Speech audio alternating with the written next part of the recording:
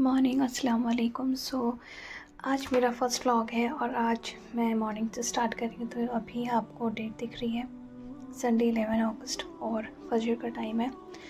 तो चलिए, सबसे पहले हम अपनी नमाज़ अदा करते हैं देन उसके बाद हम आगे व्लॉग कंटिन्यू करते हैं।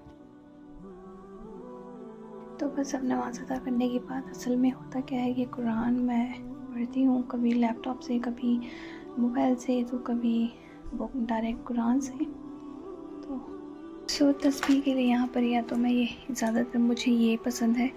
और वैसे ये सबसे ज़्यादा इजी होता है काउंटर बट इसके लिए ऐसा है कि जब कहीं पे अगर ठीक है, कहीं अगर हम बहुत भाग दौड़ की जगह में तो हम इसको यूज़ कर सकते हैं। बट मुझे ये ज़्यादा अच्छा लगता है, क्योंकि मुझे आदत है इस तरह से ना तस्वीर पे हाथ फेरने की तो इससे ज़्यादा फील आती है मतलब तो इस वजह से मुझे बहुत अच्छा लगता है। एंड उसके बाद या तो मैं लैपटॉप से कुरान पढ़ लेती हूँ या फिर जो मैं जिस मोबाइल से अभी मैं रिकॉर्ड कर रही हूँ इस वाले से तो इससे ही मैं अपना आ, कुछ ऐप्स हैं मैंने जो डाउनलोड की है उससे पढ़ लेती हूँ या फिर तो अब थोड़ा सा पढ़ने के बाद I do rest for few hours उसके बाद मैं आपको मिलती हूँ। अभी इतनी तेज़ बारिश हो रही थी बहुत तेज़ और अब सडनली धूप निकल गई। लेकिन मौसम बहुत अच्छा है। तो उस सुबह उठते देखा तो मौसम के कुछ मिजाज ऐसे थे। चाय बना रहे हैं। सबसे पहले डालेंगे इलायची।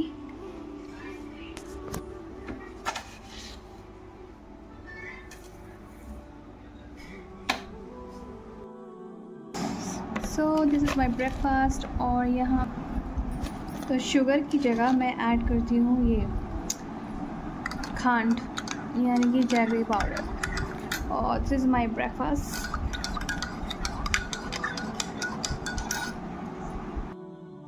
so एक बात जो मुझे हमेशा से बहुत अच्छी लगती आई है, वो ये कि मैं सारे काम खुद ही करती हूँ। फिर चाहे वो घर का हो या बाहर का हो, अपना सारा काम मैं खुद ही करती हूँ। कोशिश करती हूँ कि उन चीज़ों को मैं खुद से हैंडल करूँ। जितना मैं हैंडल कर सकती हूँ, क्योंकि ऐसी चीज़ करने से मुझे खुशी भी मिलती है और किसी पर डिपेंड भी नहीं रहना पड़ता। तो चाहे फिर वो एजुकेशन से रिलेटेड हो, घर के कामों से रिलेटेड हो, फिर वो किसी भी चीज़ से रिलेटेड हो I love to be creative और बस यही मेरे शौक़ है। एंड आई थिंक हम छोटे छोटे चीज़ों से बहुत कुछ सीखते हैं अपनी लाइफ में। तो मुझे माशाल्लाह से काफ़ी कुछ आता है, इसी तरह से मुझे थोड़ा बहुत सिलाई का भी थोड़ा आता है। तो तो आपको इस व्लॉग में सब कुछ मिलेगा देखने को। सो so, बरसात का मौसम है और थोड़े थोड़े देर में देखना आप कैसे नो वेदर चेंज हो रहा है। सामने बहुत ज़बरदस्त अभी अभी बारिश हुई है और बस डिनर सॉरी लंच का टाइम हो गया है। मैं लंच करूँगी नमाज़ पढ़ूँगी देन उसके बाद आपसे मिलती हूँ। तो दिस इज़ माई लंच तो लंच में है चिकन राइस और ये मसूर की दाल। सो मीन मैं अपना ये लंच भी फिनिश करूँगी। और साथ ही साथ मैं कुछ वॉच भी करूँगी। क्योंकि संडे का दिन है और संडे में भी बहुत सारे काम होते हैं, क्योंकि आज के दिन मेरा जिम नहीं होता है। बट स्टिल मुझे यूट्यूब के लिए वीडियो शूट करने होते हैं। बहुत सारा वर्क होता है तो चलते फिरते मैं थोड़े थोड़े प्रोडक्टिव लेक्चर्स इसी तरह से देख लेती हूँ, जैसे खाते हुए कोई इधर से उधर कोई काम करते हुए किचन में तो इस तरह से यू काफ़ी माइंड बूस्ट हो जाता है इस तरह के लेक्चर सुनकर और काफ़ी नॉलेज भी मिल जाती है। So here I go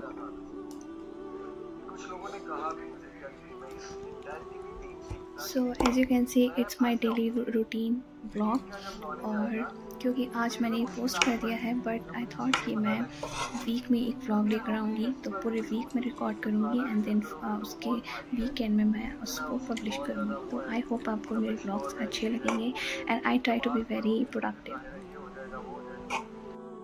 so ये रहा पुदीना, ये रहा लेमन का।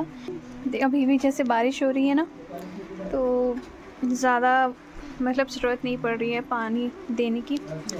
तो ये भी नींबू का है, ये तुलसी है और थोड़ी सी तुलसी इधर भी लगी हुई है। और मैंने सोचा है मैं इसमें क्या मतलब क्या ऐसा लगाऊँ जो यू नो एक्चुअल में ना यहाँ बंदर आते हैं, जिस वजह से अगर मैं कुछ भी खाने की कोई चीज़ लगा दूँ तो वो खा जाएँगे और सब कुछ डिस्ट्रॉय कर देंगे। तो मैं सोच रही हूँ कुछ ऐसा लगाती हूँ जो यू नो अच्छा लगे और वो उसको डिस्ट्रॉय भी ना करें। आप मुझे सजेस्ट कीजिए कि मैं इस पॉट में क्या लगाऊँ और ऐसे मेरे पास बहुत सारे मैंने यू नो जो ये टीन के वो होते हैं कंटेनर उनको काट के मैंने ये इस तरह से ये बनाए हुए एंड आई लव प्लांटिंग अगर आपको भी प्लांटिंग पसंद है तो मुझे कमेंट में ज़रूर बताइएगा। बहुत ही अच्छा मौसम है इस वक्त। आने के बाद मैं निकली हूँ थोड़ा सा वॉक करने, लेकिन एकदम से बारिश स्टार्ट हो गई। और आप देख रहे हैं, सामने कुछ भी नज़र नहीं आ रहा है। फॉग आ गया है, स्मॉग। और यहाँ पे देख रहे हैं आप, ये बंदरों ने किया हुआ है।